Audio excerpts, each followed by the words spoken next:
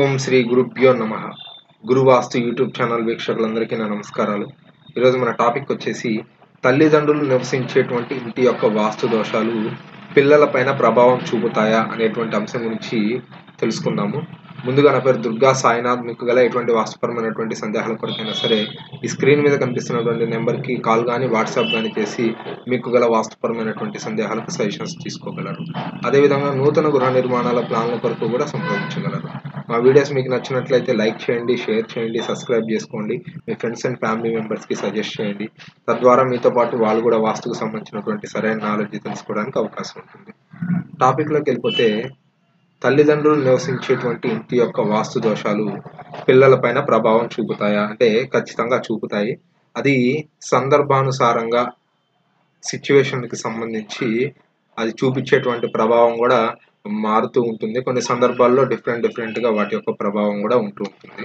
వాటికి సంబంధించి ఒక డయా ఇక్కడ మీరు అబ్జర్వ్ చేస్తున్నటువంటి ఈ డయాగ్రామ్కి సంబంధించి ఒక రిఫరెన్స్ అనేది నేను ఇస్తాను. మీరు ఒకసారి అబ్జర్వ్ చేయండి.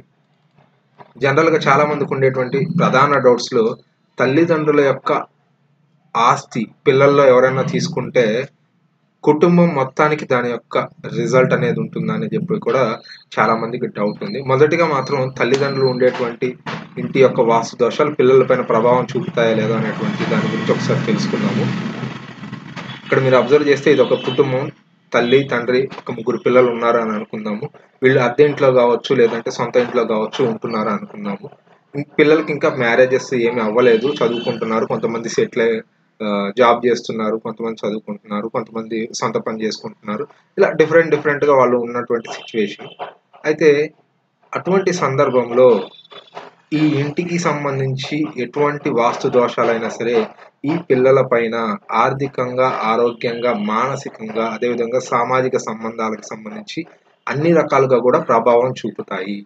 సరే తర్వాత పెళ్ళిళ్ళు అయిపోయి మ్యారేజెస్ అయిపోయి తల్లిదండ్రుల దగ్గర ఎవరు ఉండట్లేదు. అటువంటి పరిస్థితుల్లో ఏ విధంగా ఉంటుంది అనేది కూడా మనం ఒకసారి అబ్జర్వ్ చేద్దాం.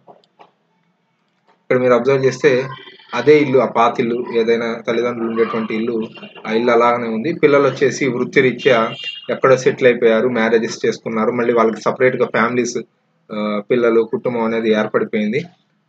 వాళ్ళకి మళ్ళీ సొంత ఇళ్ళు ఎవరికి వాళ్ళకి సొంత ఇళ్ళు ఉన్నాయి. లేదంటే అద్దెండ్లు కావచ్చు ఏదైనా సరే వాళ్ళు సపరేట్గా ఉంటున్నారు తల్లిదండ్రుల దగ్గర ఎవరు ఉండట్లేదు అని అనుకుందాము. అప్పుడు మీరు ఆలోచిస్తే తల్లిదండ్రులు ఉండేటువంటి ఇంటి యొక్క వాస్తు దోషాలు పిల్లల పైన ఆర్థికంగా ఎటువంటి ప్రభావం చూపించదు. అదేవిధంగా ఆరోగ్యరీత్యా కూడా ఎటువంటి ప్రభావం చూపించదు. మానసికంగా ఎటువంటి ప్రభావం చూపించదు. అప్పుడు మరి ఏ విషయాల్లో ప్రభావితం చూపిస్తుంది అని అంటే నా నైసర్గిక సంబంధాలు సామాజిక సంబంధాలు అదేవిధంగా ఆస్తి పంపకాల విషయానికి సంబంధించినటువంటి అదేవిధంగా తల్లిదండ్రుల పోషణ చూసుకునేటువంటి విషయాల్లో ఇటువంటి అంశాల్లో పిల్లలకి ఎక్కువగా కూడా వాస్తు యొక్క ప్రభావం చూపించడానికి అవకాశం ఉంటుంది. తల్లిదండ్రులు ఆ ఇంట్లో ఉంటున్నారు కాబట్టి ఈ పరిస్థితులన్నీ కూడా ఇప్పుడు వాళ్ళు జీవితంలో అన్నీ చేసేసి రెస్ట్ తీసుకునేటువంటి పొజిషన్లో ఇక్కడ ఉన్నారు కాబట్టి ఆర్థికంగా వీళ్ళ మీద ఎటువంటి ప్రభావం అనేది ఉండదు. అంటే సంపాదనకి నూతనంగా సంపాదించి కూడబెట్టాలనేటువంటి ఎటువంటి దుష్ప్రభావం అయితే వాళ్ళ మీద ఉండదు. మరి ఇంకా ఏ విధంగా దాని మీద వాళ్ళకి ప్రభావం చూపించవచ్చు అని అంటే పోషణ విషయం విషయంలో. ఈ పిల్లలు ముగ్గురు కూడా ఎవరు కూడా తల్లిదండ్రులు చూసుకోకపోవచ్చు.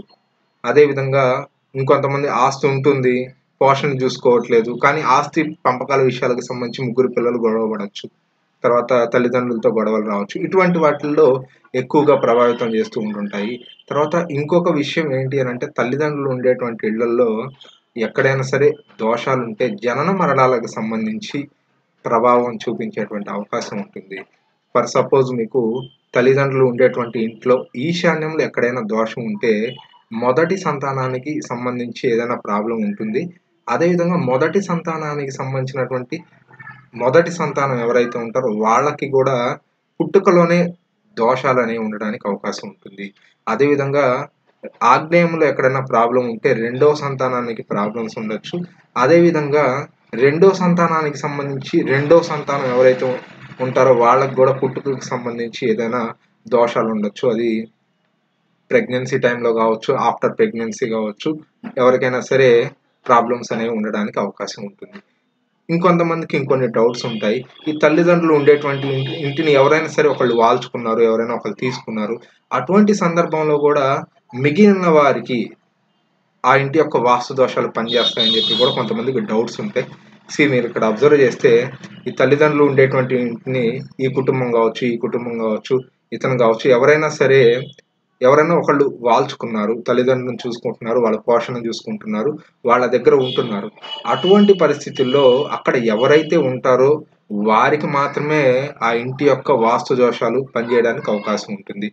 మిగిలిన వాళ్ళు ఎవరైతే ఉంటారో అన్నదమ్ములు వాళ్ళపైన ఎటువంటి ప్రభావం మాత్రం చూపించదు. ఆరోగ్యంగా కావచ్చు ఆర్థికంగా కావచ్చు ఇంకేదైనా. ఏదైనా సరే వాస్తు దోషం అనేది రిలేషన్షిప్లో ఉన్నప్పుడు ఎక్కువగా కూడా తల్లిదండ్రుల నుంచి పిల్లలు కావచ్చు అన్నదమ్ముల మధ్య కావచ్చు ఎక్కువగా ప్రభావితం చేసేటువంటి అంశాలు నైరుతిలో దోషం ఉంటే కుటుంబ సంబంధాలకు సంబంధించినటువంటి ప్రభావం ఎక్కువగా చూపించడానికి అవకాశం ఉంటుంది.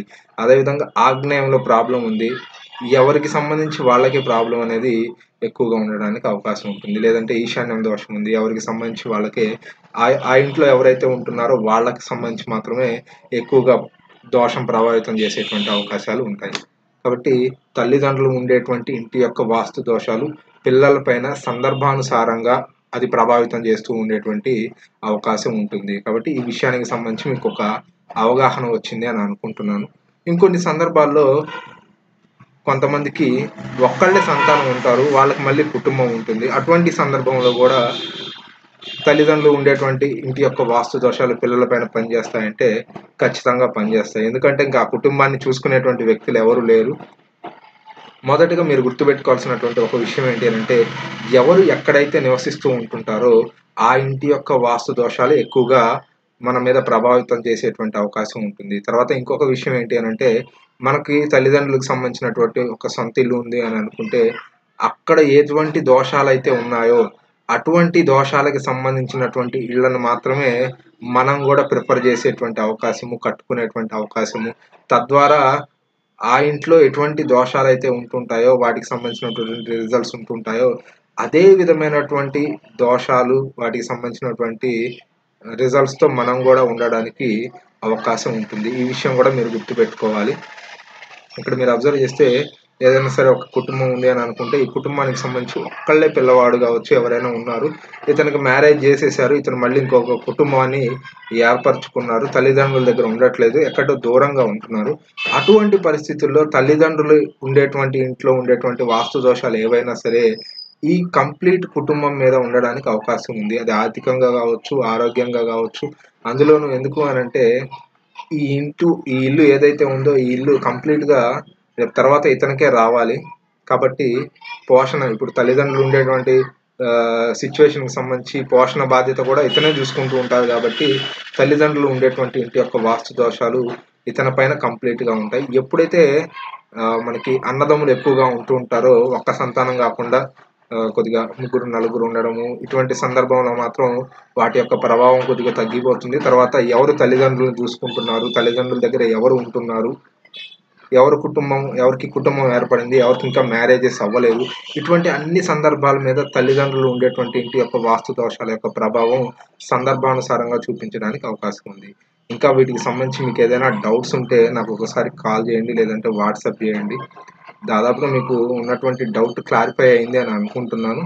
ఇన్ కేస్ ఎవరికైనా ఇంకా ఈ డౌట్ క్లారిఫై అవ్వకపోతే మాత్రం నాకు కాల్ చేసి మీకు సంబంధించినటువంటి డౌట్ క్లారిఫై చేసుకోండి. ఇంకొంతమందికి ఇంకా కొన్ని రకాలైనటువంటి డౌట్స్ ఉంటాయి. ఎటువంటివి అంటే యజమాని తర్వాత అద్దెకు ఉండేటువంటి యజమాని. నేను ప్రీవియస్ వీడియోలో కూడా చెప్పడం జరిగింది.